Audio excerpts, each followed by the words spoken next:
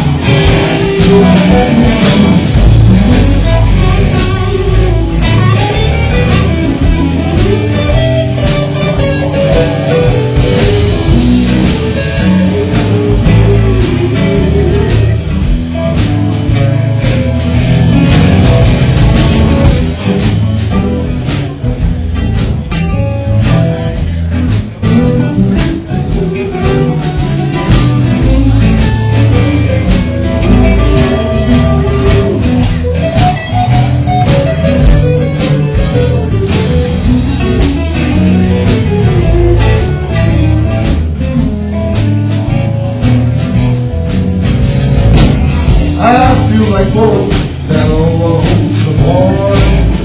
Woke up this morning, little Bernice was gone.